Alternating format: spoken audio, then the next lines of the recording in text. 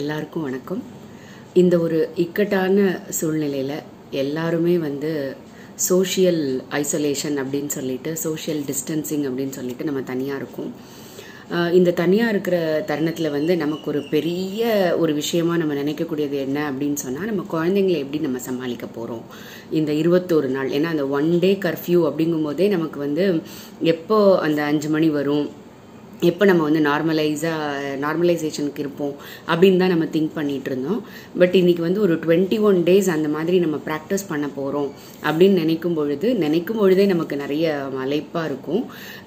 But இந்த விஷயம் வந்து இந்தியாவுக்கு புதுசே தவிர நிறைய ஃபாரின் கண்ட்ரிஸ் நீங்கள் பார்த்தீங்க அப்படின்னு சொன்னால் ஒரு நவம்பர்லேருந்து மார்ச் வரைக்குமே ஃபுல்லாக ஸ்னோஃபால் இருக்கும். ரோடு ஃபுல்லாக பனி இருக்கும்.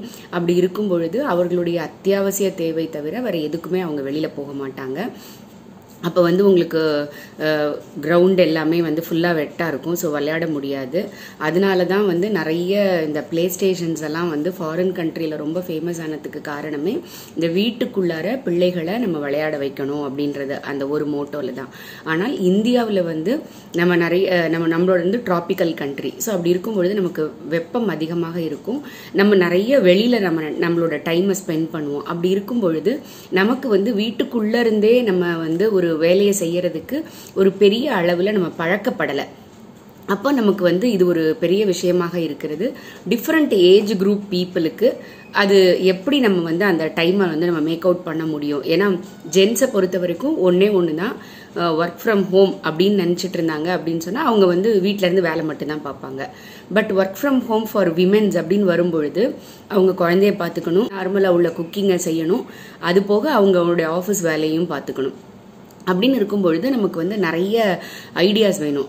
அதுக்காக ஒரு சில விஷயங்கள் நான் ப்ராக்டிஸ் பண்ண விஷயங்கள் பண்ணுற விஷயங்கள் இதை வந்து ஷேர் பண்ணிக்கலாம் அப்படின்னு நினச்சேன்.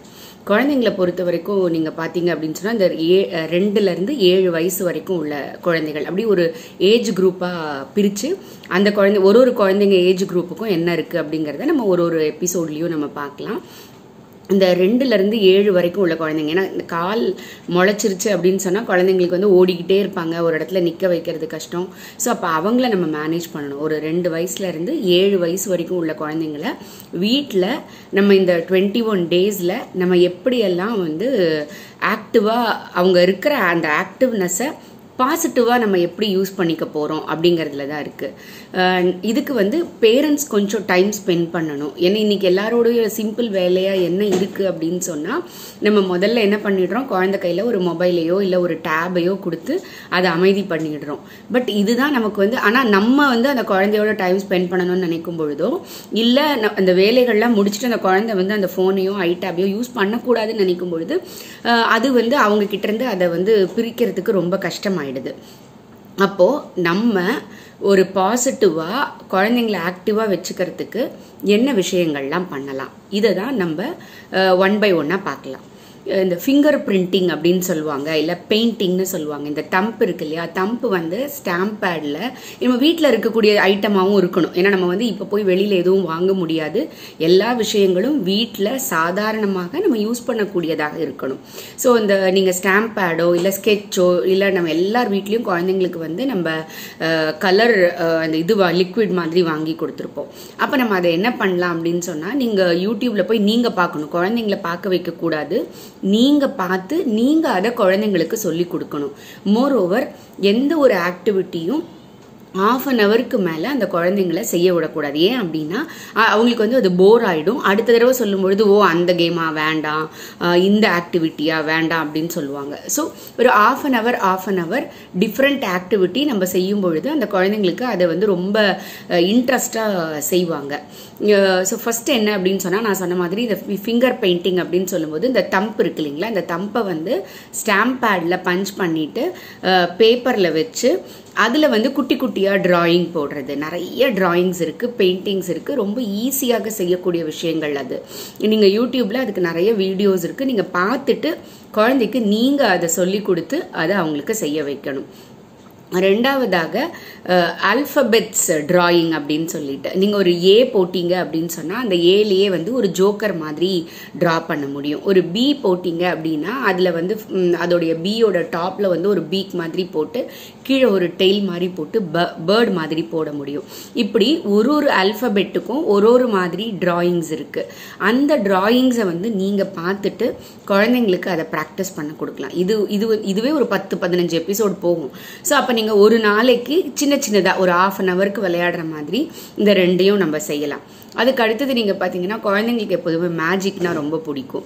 ஸோ அப்போ நம்ம என்ன பண்ணலான்னா குட்டி குட்டி மேஜிக் சும்மா வீட்டில் இருக்கிற கையில் இருக்கிற பேப்பரை வச்சு நார்மலாக இருக்கிற ஹையில் வச்சு இப்போ நீங்கள் பார்த்தீங்கன்னா சின்ன குழந்தையெல்லாம் எனக்கு சொல்லி தந்திருக்காங்க. எப்படின்னா ஐயோ விரல் காணாமல் போச்சு இந்த விரல் இருக்குது திரும்பவும் இப்படி வந்துருச்சு அப்படின்லாம் சொல்லுவாங்க. ஸோ இது வந்து பார்க்கறதுக்கு ரொம்ப சின்னதாக இருக்கிற மாதிரி இருக்கும். இது மாதிரி நிறைய ட்ரிக்ஸ் இருக்குது ஸோ அந்த மேஜிக் ட்ரிக்ஸ் எல்லாம் என்ன அப்படின்னு சொல்லிட்டு குழந்தைங்களுக்கு அது- இது வந்து டூ டு செவன் தான். அதுக்கு மேலே இருக்கிறவங்களுக்கு நம்ம செய்ய முடியாது. ஸோ அந்த குழந்தைங்களுக்கு ஒரு மேஜிக் ட்ரிக்ஸ் டெய்லி ஒரு நாலஞ்சு. அதில் சொல்லி கொடுத்து செஞ்சுட்டு நம்மளே செஞ்சுட்டு நீங்கள் செஞ்சு காமிங்க பார்க்கலாம் அப்படின்னு சொன்னால் அது வீட்டில் இருக்கிற எல்லா எல்லாருக்கும் போய் அதை செஞ்சு காமிக்கும். ஸோ இதில் கொஞ்சம் டைம் அவங்களுக்கு ஸ்பெண்ட் பண்ண முடியும். அதுக்கப்புறம் வீட்டில் நம்ம வந்து யூஸ் பண்ணாத இல்லைன்னா பழைய பேப்பர் டம்ளர் இல்லைன்னா பாட்டில்ஸ் இருந்ததுன்னா அதை பாதியாக கட் பண்ணிவிட்டு மண்ணை கொஞ்சம் அள்ளி போட்டு வீட்டில் இருக்கிற கடுகு அப்புறம் வந்து மற்ற விதைகள் இருக்குல்ல பச்சை பயிறு கொண்டக்கடலை இந்த மாதிரி இருக்கிறத குட்டி குட்டியாக போட வச்சுட்டு வீட்டில் பால்கனியில் வச்சிடலாம். பால்கனியில் வச்சுட்டு கொஞ்சம் தண்ணி ஊற்றிட்டு டெய்லி நீங்கள் அதை பார்த்துட்டே இருக்கணும். அதில் எப்படி செடி வளருதுன்னு பார்க்கலாம். அப்படின்னு நீங்கள் சொன்னீங்கன்னா அந்த மொச்சை பயிறு இதெல்லாமே வந்து ஒரு மூணு நாள் நாலு நாளில் முளை விட்டுடும்.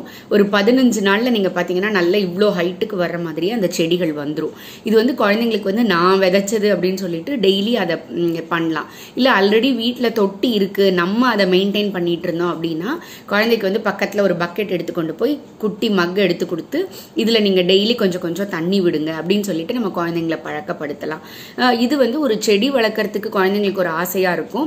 ரெண்டாவது அவங்களே விதை போட்டாங்க அப்படின்னு சொன்னால் சீக்கிரமாக வளரும். ஏன்னா நம்ம மற்ற செடிகள்லாம் நீங்கள் பார்த்தீங்கன்னா வளர்றதுக்கு நாள் ஆகும் பட் நம்ம எல்லார் வீட்லேயுமே நிறைய பேரோட வீட்டில் இந்த நவதானியத்தை வந்து கொலு அப்போ அதுக்கு கொலுவுக்கு ஒரு ரெண்டு மூணு நாளைக்கு முன்னால் போட்டு முளைக்க வச்சு அதில் நம்ம டெக்கரேட் பண்ணியிருப்போம் அதனால இது வந்து ரொம்ப ஈஸியாக வளரும். குழந்தைங்களுக்கும் பார்க்க ஆர்வமாக இருக்கும்.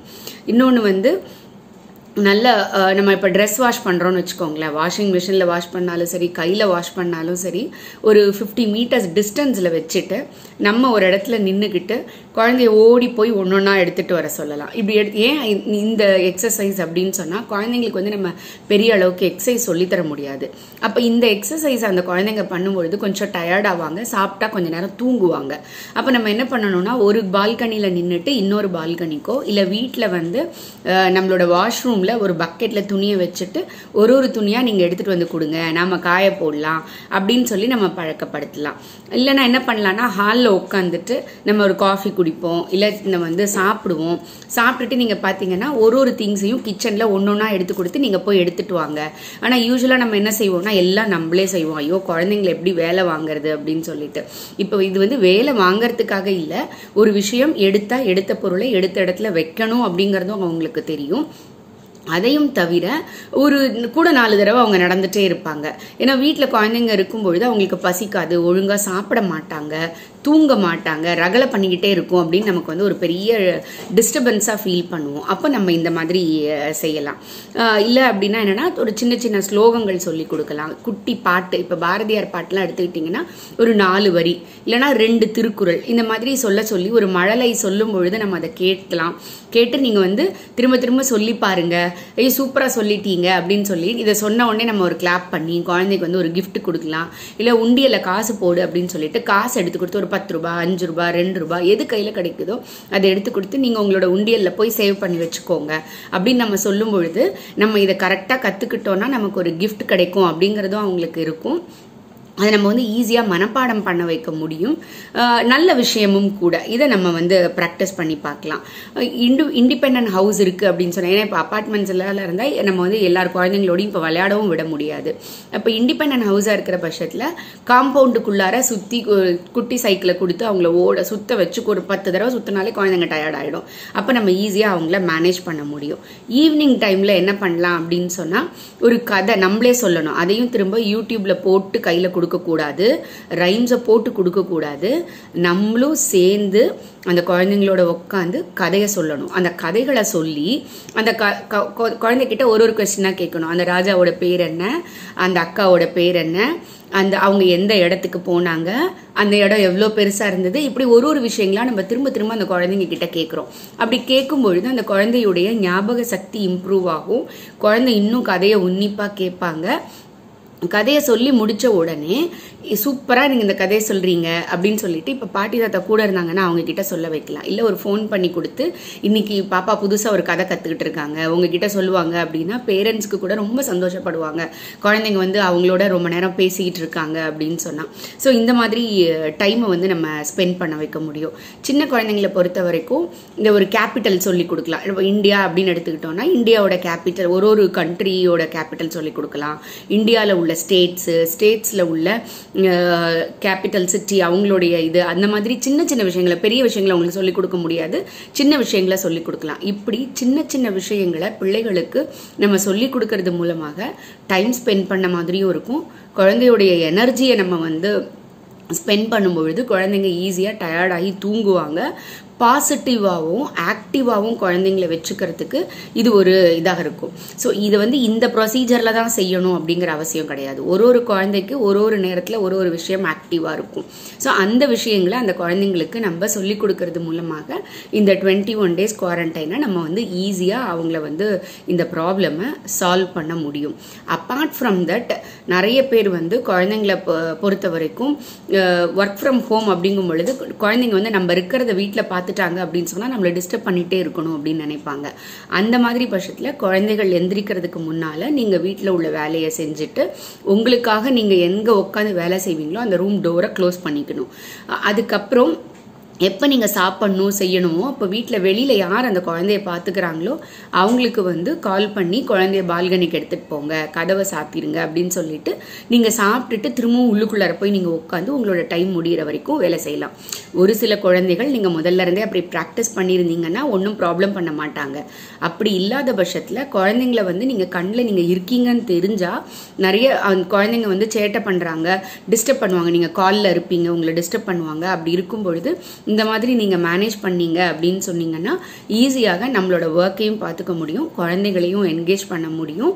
இந்த கர்ஃப்யூவை வந்து சக்ஸஸ்ஃபுல்லாக நம்ம சேஃபாக ஸ்பெண்ட் பண்ண முடியும். நன்றி வணக்கம்.